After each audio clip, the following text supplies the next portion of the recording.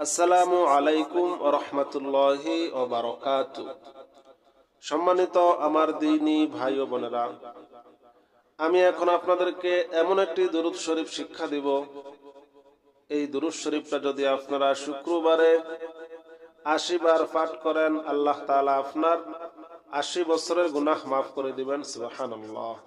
হজরত আবু হুরায়রা রাদিয়াল্লাহু তাআলা আনহু হইতে বর্ণিত যে রাসূলুল্লাহ সাল্লাল্লাহু আলাইহি ওয়াসাল্লাম ارشاد করছেন যে ব্যক্তি জুম্মার দিনে আসরের নামাজের পর না ওঠে ওই স্থানে বসা অবস্থায় আশি বার এই দুরূদ শরীফটি পাঠ করে আল্লাহ তাআলা তার আশি বছরের গুনাহ মাফ করে দিবেন সুবহানাল্লাহ এখন আমি আপনাদেরকে সম্পূর্ণ বাংলা উচ্চারণে দুরূদ শরীফটি শিখিয়ে দিব খুবই গুরুত্ব সহকারে খুবই মনোযোগ সহকারে দুরুদ শরীফটি শিখুন শুক্রবারে দুরুদ শরীফটি আমল করুন ইনশাআল্লাহ আল্লাহ তালা আপনার জিন্দগির আশি বছরের গুনাহ মাফ করে দিবেন أعوذ بالله من الشيطان الرجيم بسم الله الرحمن الرحيم اللهم صل على محمد النبي الأمي.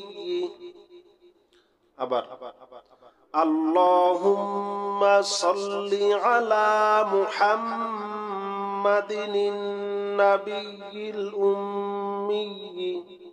أبر اللهم صل على محمد النبي الأمي وعلى آله وسلم تسليما وعلى آله وسلم تسليما اللهم صل على محمد النبي الأمي وعلى آله وسلم تسليما. اللهم صل على محمد النبي الأمي وعلى آله وسلم تسليما. اللهم صل على محمد النبي الأمي وعلى آله وسلم تسليما. اللهم صل على محمد النبي الأمي.